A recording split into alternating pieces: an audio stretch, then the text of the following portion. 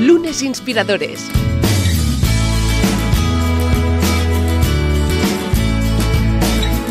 Con David Tomás y Edu Pascual. ¿Qué tal? Bienvenidos a Lunes Inspiradores. Hoy en un eh, nuevo programa que además tiene historia. ¿El por qué? Pues hombre, generalmente eh, los invitados e invitadas pues eh, contactamos con ellos, ellos contactan con nosotros. Y el programa de hoy pues surge de un tuit, el poder de Twitter, de la plataforma, una de las redes sociales pues más usadas a nivel mundial, en el que pues David y yo nos levantamos un día y vemos sorprendidos y extremadamente agradecidos pues como la comunidad de Forocoches o al menos, obviamente, su perfil, pues nos comunicaba que, oye, que son fans del podcast, que, les, que, nos siguen de hace tiempo y que sería pues una gran oportunidad pues tener como no a Alex Marín que hoy nos acompaña para poder charlar con él y conocer pues un poquito más allá de lo que es eh, toda esta aventura de Foro Coches, ¿verdad? Así que oye, hoy tendremos muchísimo de qué hablar, yo no me enrollo mucho más, que ya sabéis que las introducciones acostumbran a ser largas, pues que no puedo evitarlo. Así que vamos a dar la bienvenida a David Tomás. ¿Qué tal David? ¿Cómo estás? Muy bien, oye, contento aquí de hablar de Foro Coches, una de las comunidades más importantes de España, si no la más. Y nada, con ganas, con ganas de que nos cuenten toda su historia. Brutal, brutal, sin duda el gran impacto de una comunidad como es la de Foro Coches. Hoy el, intentaremos descubrir eh, orígenes e incluso pues eh, eh, cómo se ha llegado hasta ahí, sin duda. Pero antes, como siempre, toca repasar el que es eh, pues obviamente lo que hoy nos propones, David. Adelante, el reto líder. Pues sí, acabamos ya casi el año, nos quedan dos semanitas más y el reto de este año es cambiar una de nuestras rutinas. Todos tenemos una serie de hábitos, de rutinas que están incorporadas en nuestro día a día y lo que propongo esta semana es cambiarlas. Imagínate que siempre usas la misma ruta para ir al colegio o llevas a los niños por el mismo paseo o a la misma hora desayunas. ¿no? Lo que te, propongo esta semana es que cojas una de tus rutinas y hagas algo radicalmente opuesto. Pues cambies la ruta, cambies el horario, hagas algo distinto a lo que sueles hacer, bueno, para ver si tienes ahí pues eh, nuevas ideas, nuevos inputs o nuevas formas de hacer las cosas. Qué bueno. Oye, lo que sería un cambio de aires, pero aplicándolo físicamente, ¿no? Así también, oye, dicen que un buen paseo oxigena el cerebro y al menos también te hace olvidar según qué dolores de cabeza y te hace llegar, pues, incluso a conclusiones, ¿no? Que, fluya, que fluya todo lo que tengamos ahí en el cerebro, que, que, es bueno, que es bueno que fluya y ahí es donde aparecen las, las mejores ideas. Alex Marín, ¿cómo estás? Bienvenido. Hola, buenas, ¿qué tal? Encantado de estar por aquí para contaros cosillas. Eh, claro que sí, oye, el placer eh, es absolutamente nuestro, que precisamente lo que plantea David, este reto líder que, cada semana nos plantea y que comparte en redes sociales, ¿qué rutina cambiarías tú? Pues mira, eso me ha, me ha, resultado curioso porque es algo que hago habitualmente. Me gusta mucho cambiar las rutinas y que el cuerpo no se acostumbre a hacer siempre lo mismo, el cuerpo y el cerebro. Qué bueno, qué bueno.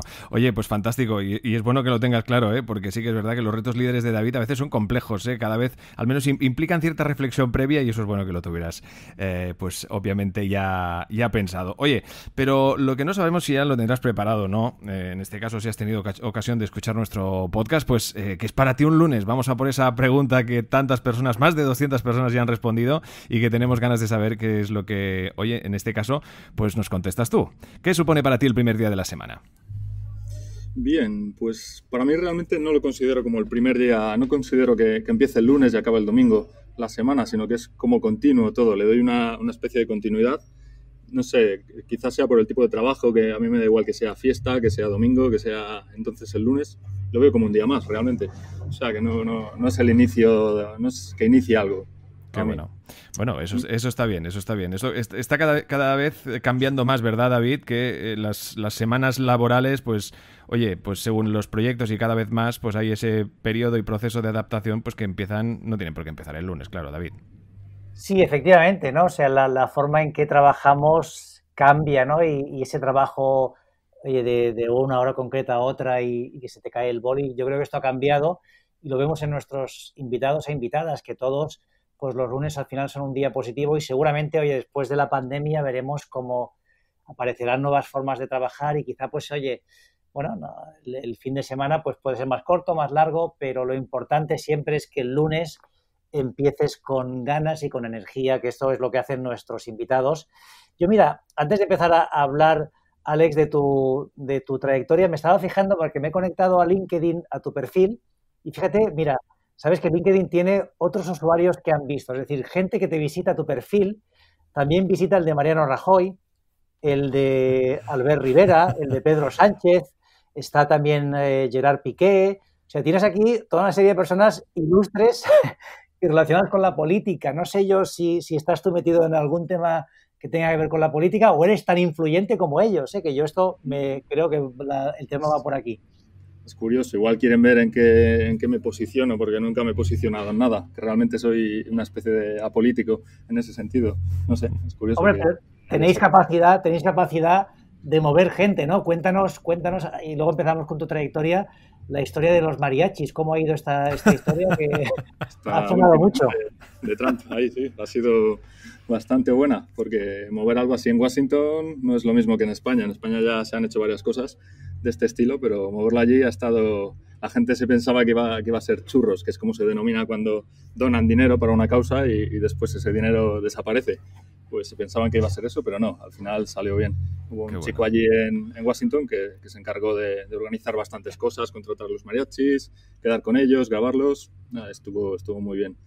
¿Y tuvisteis algún tipo de problema burocrático, algún, algún incidente? ¿No, no, ha pasado nada con la CIA? Eh, nada, no, porque fue algo que se organizó súper rápido. Al final son los propios usuarios los que lo montan, se encargan de, de recaudar el dinero en una cuenta PayPal y es algo, nada, que en una tarde está montado ahí. La gente cuando quiere se organiza muy bien. Hombre, eso, eso yo creo que ejemplifica muchísimo la capacidad organizativa que tenéis ahí, ¿no? Y que efectivamente pues hace que la capacidad de llevar a cabo pues, pues, eh, pues movimientos o propuestas o performance de, este tipo, que esta está pues muy bien buscada y yo creo que, que, le, vaya, que le vaya bonito, pero que le vaya lejos a este señor Trump. Pero sí que es verdad que, que destaca ¿no? el hecho de años y años de irse organizando y ahora donde pues tenéis una capacidad tan grande como para tener una respuesta rápida y efectiva a la, vez, a la hora de movilizar ¿no? Ahí uno de vuestros puntos fuertes. Mm. Sí, es al final, digamos, la experiencia que, tiene la gente de, casos anteriores, pues ya les va dando un entendimiento de cómo, cómo hacer las cosas, cómo organizarse, que, funciona, que no. Y al final sí que, sí que es cierto. Pero siempre tiene que haber alguien que sea un poco, digamos, líder, que se encargue del tema o un grupo pequeño para que funcione bien. Si no, cuando hay demasiada masa de gente haciendo algo, se complica. Sí, eso también, eso también es verdad. Oye, David, yo creo que ha llegado ahora sí el momento porque realmente, si es por iniciativas y, proyectos que han llevado a cabo la comunidad de Foro Coches, pues aquí tenemos para un especial muy especial, sin duda, y largo. Eh, que, seguro que tendremos ocasión de repetir una buena charla con Alex Marín en su momento. Pero ahora toca, pues, conocer aquello que quizá muchos no conozcan y que, evidentemente, pues, oye, Alex, aquí cuentas hasta donde tú consideres los orígenes de nuestro invitado, David. Sí, exacto. Fíjate que mirando LinkedIn, ¿no? Tú desde el año 2001, mayo de 2001, Chief Executive Officer de Forocoches, ¿no? O administrador, como te quieras llamar. Pero nos interesa, oye, el antes de Forocoches, ¿no? O sea, tú cuéntanos qué estudiaste, tipo de educación que te dieron tus padres, dónde te imaginabas, ¿no? O sea, si, pensabas nunca eh, estar gestionando un proyecto como el de Forocoches y sobre todo luego cómo, cómo sale esa chispa para crear el proyecto. Sí, pues yo desde, desde, pequeño siempre me encantaron los ordenadores. Era mi pasión ya de, dice, eso ni me acuerdo yo, pero mi padre dice que con 3, 4 años ya estaba ahí encima de sus rodillas teclando en Basic cosas, ahí copiábamos de revistas jueguecitos y cosas. O sea, siempre ha sido mi pasión y nada, en todo el colegio, instituto, toda esa parte, siempre he estado con ordenadores, con, con juegos y cuando descubrí Internet fue cuando se me abrió un mundo de posibilidades cuando empecé, empecé con temas de ingeniería inversa también, de cracking, de, protección de software. Eso era lo que más me apasionaba también en eh, juegos como Quake, ese tipo de cosas. O sea, más que negocio, para mí siempre ha sido diversión y lo hacía todo por ese tipo de, por ser una afición, por ser mi pasión, que es lo que siempre se dice en estos temas, pues lo era. Y, entonces... Eh, ahí de, estudios y tal, no sé, tampoco estudié, estuve en primero en ingeniería de telecomunicaciones, pero vamos, tampoco me, no me gustaba nada. Yo en ese momento me iba a la biblioteca, me metía en la sala de proyectos de ordenadores, ahí yo iba primero, era para los, los de final de carrera, que recuerdo que me echaron de la sala, llegó allí un profesor y dijo, ¿tú qué haces aquí? Y yo nada, no sé, me había colado ahí con un fallo que tenía Windows NT en ese momento que, que entraba sin usuario dijo, ¿cómo has entrado tal? Y, nada, me, echaron de allí. y duré hasta diciembre en la universidad, realmente. Estuve de septiembre a diciembre. Y a partir de ahí fue cuando empecé ya 100% con, con los proyectos, con los de ingeniería inversa inicialmente, que tenía varias páginas bastante conocidas del mundo del cracking. Y luego ya empecé con otros portales de enlaces, un metabuscador, Megasearch, era, eh, diferentes cosas que fueron bastante grandes fuera de España. En España, hasta que no empecé Forocoche, realmente no tuve nada, nada grande, que fue en 2003. Mm. Vale, o sea que digamos... He ido, saltando, he ido saltando hay muchas cosas, pero vamos, es una... Como hace tanto tiempo ya, va a hacer 18 años ahora mismo Forocoches, en marzo. O sea, es una web ya legendaria. Pero entonces tú antes de Forocoches ya habías montado otros proyectos y los montas, los montas tú solo, los montas con otras personas. ¿Cómo se te ocurren las ideas? Un poco, cómo, cuéntanos cómo fue era lo que entonces, que ahora ya ese término casi se usaba muchísimo menos, webmaster, ¿no? que, el, que, el webmaster, vamos, que al final eres como el hombre orquesta, que haces todo, que haces el SEO, el marketing, la parte técnica, el diseño, así un poco, sabes un poco de cada tema. Y en la época del 2000 pues era más sencillo montar, montar webs y hacer ese tipo de cosas. Programar un poco básico en Perl, en PC, con Shell Script y ese tipo de cosas, CGIs. Y pues poco a poco fui evolucionando, pero nunca he, crecido a nivel de equipos. Me mantuve un montón de años yo solo haciendo todo. Que, no sé, por una parte, para mí ha sido súper cómodo trabajar así, porque al final yo me organizaba, nunca he tenido reuniones, nunca he tenido aquí eh, dedicar tiempo a, a, dirigir gente o a organizar cosas, sino que yo quería hacer algo y lo hacía. Y era súper rápido todo, era, no sé, yo creo que el ser tan rápido me ha beneficiado mucho también para poder estar ahí delante con, con Foro Coches y otros proyectos que tengo, por ejemplo, Todos Relatos, que lo creé antes que Foro Coches, en 2001, y hace ahora 20 años va a ser. Es la mayor web de relatos de literatura erótica de, España, vamos, de España, del, mundo eh, castellano. Y no sé, esa es velocidad de, procesar cosas y de hacer cosas.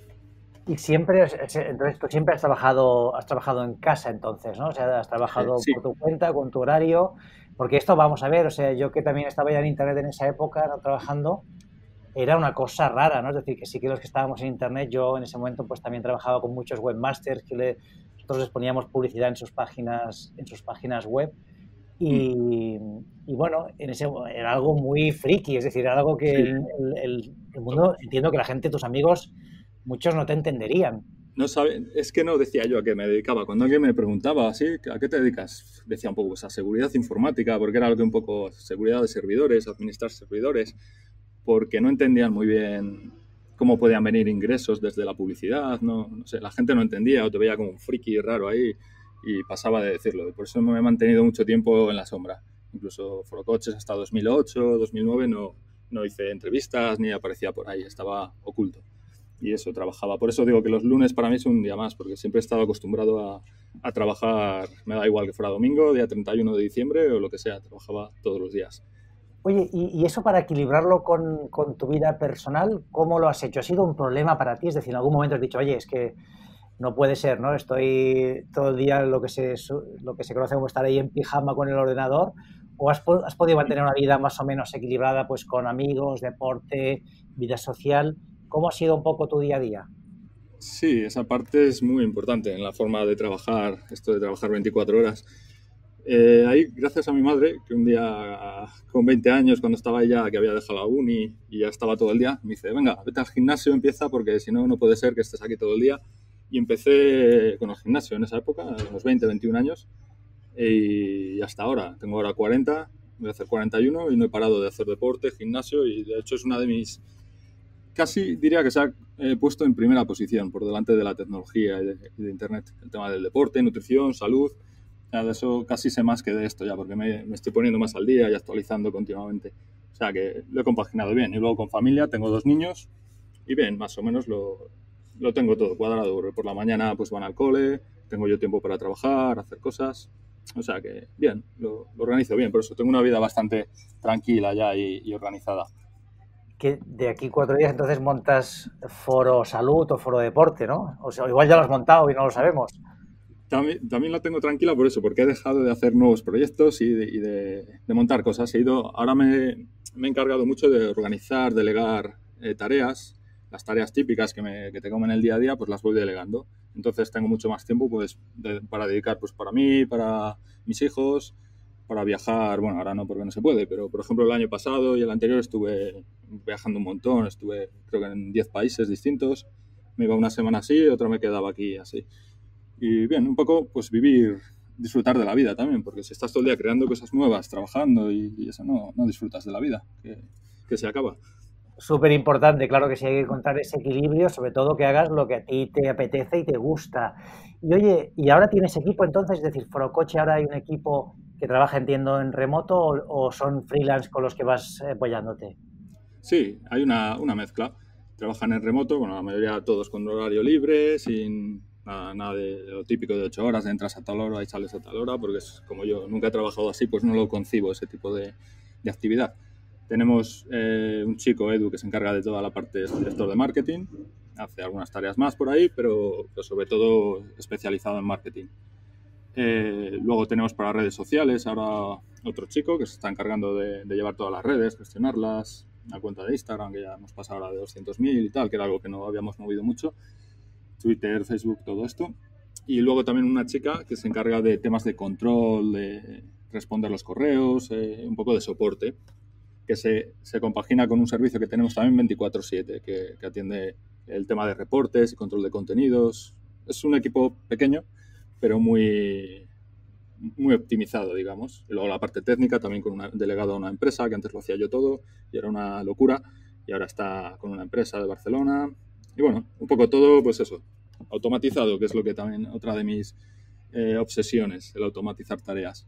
Pero eh, esto que cuentas es muy curioso, ¿no? Es decir, es verdad que las personas que, hemos estado en el mundo online, pues lo has vivido desde, desde hace muchos años, ¿no? Que ves que se puede trabajar así, pero para muchas personas es nuevo. Es decir, esto es, eh, para ellos es nuevo. Es decir, ostras, yo no me imaginaba pues que te voy a tener un trabajo como el que tienes tú, en el que bueno, te organizas como quieres, usas la tecnología para justamente automatizar, para facilitarte la vida. Y bueno, es una forma distinta de vivir y que afortunadamente creo que va a ir llegando a muchas más personas. Y yo tengo una pregunta sobre el foro coches, ¿no? Tú, tú, lo montas, no sé si con intención o sin intención, pero cuéntanos ese principio y cuándo te das cuenta tú que aquello iba a tener la fuerza que tiene. Bien, pues yo realmente monté otro foro de, coches también del Renault Laguna, exactamente, porque fue el primer coche que me compré para hablar sobre ese coche. Y eh, no me salió muy bueno ese coche. A los dos, tres años quería cambiarlo y, busqué foros de coches por ahí y no encontré nada. Había algunos, pero funcionaban muy mal, se caía los fines de semana. Y dije, pues monto el mío, que ya tenía experiencia. Y lo monté, foro. Y aparte estaba el dominio libre, pues perfecto. Nada, y lo monté nada, en cuestión de, de unas semanas. Tampoco tardé mucho más. Y poco a poco la gente empezó, como era el único foro que funcionaba bien, empezó a pasarse a él. Y fue creciendo. 2003 fue un, un crecimiento muy lineal cada año iba creciendo, iba entrando más gente, iba aumentando. Ya la gente se quedaba en la sección off topic, que en este caso es el general. Iban, eh, cuando acababan de hablar de coches, empezaban a hablar de, otros temas, de política, deporte, de me ha dejado mi pareja, no sé qué, qué, móvil me compro, de cualquier cosa. Y fue creciendo poco a poco, poco a poco, y, hasta hoy, que, ha seguido creciendo desde entonces. No, no, es increíble. Para mí hay dos, dos eh, seguro que hay más, ¿eh? pero que yo tengo ahora en mente dos eh, sites que son un ejemplo en España, que son Forocoches, por la comunidad que habéis creado, y Mil Anuncios, ¿no? que prácticamente sin recursos monta un monstruo. No sé si sois amigos los dos fundadores, pero si os juntáis a los dos en una sala ahí, vamos, la liáis en parda, que se suele decir. Es, Ricardo, me parece, ¿no? Se llama el fundador Exacto. Anuncios, que lo vendió hace unos años, que siempre se ha mantenido ahí en la sombra, no, no iba a eventos. De, yo en la época de Webmaster del 2000, 2000 y pico, siempre sí que iba a bastantes eventos de vez en cuando y por ahí nunca le veíamos, siempre era alguien ahí oculto en, su tierra, por ahí, también como aquí. Yo, yo soy de Palencia, de Badajoz, ciudades pequeñitas, que de provincia por ahí, que se pueden hacer cosas muy grandes. De diseño compartimos, el diseño prehistórico, eso sí, pero que bueno, al final tampoco hace falta un diseño ahí último modelo para que haya una comunidad o un servicio, como el caso claro, lo que tú has dicho, lo importante es que funcione, ¿no? Que a veces son esos pequeños detalles que cambian en un proyecto. Es decir, que a veces son, oye, que ese servidor vaya un segundo más rápido o que sea fácil pues responder. Estas pequeñas cosas que, muchas empresas o personas se complican la vida y la solución es el, justamente el minimalismo, de que hagamos lo más sencillo posible, lo más ligero y que, vaya rápido. A mí, oye, me interesa un poco eh, también hablar de, la comunidad en sí, ¿no? Si no me equivoco, si tú eres de Foro Coches, te llamas a ti mismo un surmano, ¿no? Es el, nombre que, que se usa. Sí, es como se llaman entre, se llama, nos llamamos entre surmanos, sur, sur. Exacto, sur también, ¿no? Sí, sí, sí, exacto. Oye, em, no sé si, si llegas a hacer amigos dentro de la comunidad y luego a mí me, me, gustaría que cuentes para ti la cosa más increíble que ha pasado, ¿no? Que, que, han sido muchas las que habéis hecho en todos estos años, pero a ti la que más te ha sorprendido, la que más destacas. Hmm, de acciones, por ejemplo, cuando se juntan para hacer el bien, digamos, hace poco han recaudado un montón de, creo que fueron 25.000 euros para comprar consolas para niños con cáncer y tal, que es una acción que, lo hace. No es, no es algo ahí para dar, para que la web se busque méritos ni nada, es algo que monta la gente por su cuenta y eso fue una pasada, porque un montón de gente dando de entre 5 y 5, 5 euros, 10 euros, 50, y fue una pasada. Y, pusieron un montón de fotos, cómo les llevaban las consolas a los, a los chicos en los hospitales. Esa, acción fue, fue muy buena. Hay un chico ahí encargado en Barcelona de, de mover todo también. Siempre tiene que haber alguien que, que, lidere, digamos, porque eso es muy importante. Si no, hay descontrol. Pero en ese caso salió todo súper bien. Esa es la acción que la más destacable, aunque había muchas otras. Me felicitaron, por ejemplo, de la Guardia Civil porque se salvó a un chico que se iba a suicidar. Avisaron desde el foro, le localizaron, hicieron lo que se conoce como un CSI y localizaron dónde vivía y fue allí la Guardia Civil y sí que le, pillaron las pastillas y tal y estaba a puntito, ya avisaron a los padres y tal y, y le salvaron. Y, era un caso ahí que estaba muy deprimido y tal. no sé, ha habido muchísimos casos, muchísimas situaciones así. Fíjate qué interesante, ¿eh? que mucha gente pues conoce ¿no? los más mediáticos, ¿no? que si John Cobra, que si no sé qué, mm. todo lo que habéis hecho, pero, pero al final los más importantes son estos, ¿no? los, que, los que ves que cambian vidas ¿no? y que, que ayudan a gente. Y, sí. Y luego esta parte también, esto es muy curioso, ¿no? O sea, el, el hecho este de, de, que haya gente sin estar organizada que por motu propio coja la bandera, se ponga delante y se ponga a tirar de un tema, que esto para muchas personas les cuesta de entender, ¿no? Que alguien quiera dedicar su tiempo, en cambio es algo que en la comunidad pues es muy, muy común, ¿no? Que haya personas pues que, que lideren causas. Mm, cierto, sí, sí. Y además no, se hace, no lo hacen por buscar un mérito o por un interés económico o, crecer en sus cuentas. También el hecho de que Foro Coches no tenga, eh, o sea, sea una motivación intrínseca para escribir, que lo haces porque te gustan o porque te van a subir los seguidores o los likes o tal, como ocurre con las redes sociales, hace que sea distinto a, esto, a Instagram, Twitter y todo esto, que va la gente un poco siempre pensando en crecer y en, subir, aunque hagan lo que les guste. En el foro no ocurre eso y nunca se ha buscado eso, una motivación extrínseca, que es cuando te viene de fuera, ya sea un sueldo, una subida de seguidores y eso hace que sea diferente la comunidad. Yo creo que le da ese toque distinto. ¿Y cómo ves tú el futuro? Ahora que hablabas de las redes sociales, o sea, al final es verdad que los foros, pues es esto, ¿no? Hablamos cuando fueron su... El auge fue a partir de esto, ¿no? 2003, 2004, estos primeros años, ¿no? Ya cuando pasamos las, las webs personales. Pero claro, ¿cuál es el futuro? Es decir, ¿tú crees que los foros van a seguir siendo tal como son? Que a lo mejor entrará pues, un componente de audio, de vídeo. ¿Cómo te imaginas Foro Coche en unos años? Bueno, el estilo foro lleva desde las BBS, desde los bulletins, estos War System, sí. ya al principio de Internet, ¿no? Las news, que era así, las news, sí, con modem. Eso yo no lo llegué a usar, fue un poquitín antes de que yo empezase, en el 94, 95, yo por ahí. No tenía acceso a Internet, me iba de un amigo ahí a su casa eh, ¿Cómo serán los foros? Pues yo creo los foros no van a evolucionar mucho realmente, porque tampoco, al final todo tiende a las redes sociales y a, y a las eh, a gran escala, digamos, son las que se van a comer todo el, que todos los usuarios estén ahí. Y no sé, eh, van a estar más controladas, digamos, todas las redes sociales, porque tienen demasiado control sobre la gente, sobre los cerebros de la gente, y, trabaja mucho la psicología para enganchar a la gente, para darle sus gustos a nivel de marketing, a nivel de, tiempo de permanencia. Y yo creo que les van a intentar meter mano porque si no tienen demasiado poder, van a convertirse en los nuevos medios que, que siempre están interesados en controlar a nivel de, gobierno. Claro, sí, esto ya es la realidad que, vivimos ahora, ¿no? El, estar un poco controlados, Hay ese famoso eh, reportaje de Netflix que yo no lo he visto, pero bueno, si he visto algún... Social dilema, ¿no?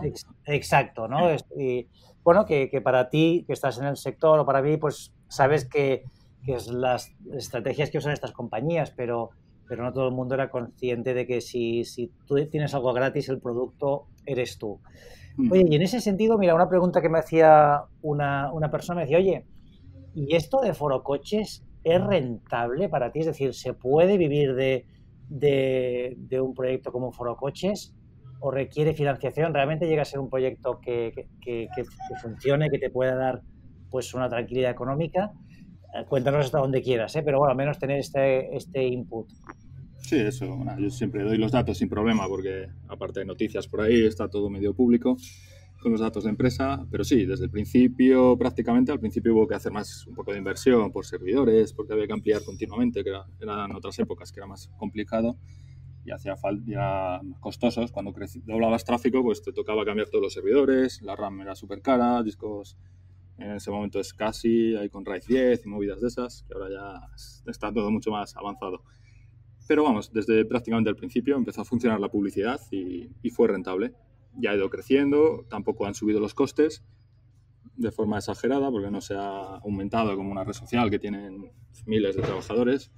Aquí están los costes muy limitados, entonces siempre ha sido rentable. Aparte tengo otros proyectos que también son rentables. O sea, aún sin foro coches podría mantener perfectamente el tema de la publicidad y todo esto va, va muy bien. Que además cada vez se paga más por la publicidad, ¿no? cada vez es más eficiente, ¿no? Y los anunciantes están dispuestos a pagar más que hace unos años los ingresos publicitarios o tenías millones y millones de, visualizaciones como era tu caso o era imposible vivir de la publicidad. Claro, sí, hubo una época que era más complicado, eran CPM súper bajos o coste pago por clic o por lead. Pero bueno, ahora también Foro Coches, al tener tantos temas, si no es un tema, eh, es otro. O sea, al final siempre tiene algo algo que funciona en ese momento. Si no va ahora el turismo ha caído un montón, pues en vez de anunciarse hoteles y ese tipo de servicios, pues anuncian eh, compañías online, que entonces que son las que han subido un montón por el, el, uso mayoritario que se hace a nivel de teletrabajo. Entonces, bueno, siempre hay algún tema que, que funciona y que tira para arriba y va, va bien. Oye, y de, de, todos estos años, ¿no? que ya son casi 20 años eh, liderando el Foro Coches y los proyectos que, has montado alrededor. ¿Cuáles son los, aprendizajes que destacarías? Si tuvieras que compartir alguna idea con nuestros eh, oyentes, ¿no? nuestros inspirados e inspiradas, ¿qué, compartirías? Mm, pues eh, el tema que he comentado de lo importante que es la velocidad de, de, hacer cosas.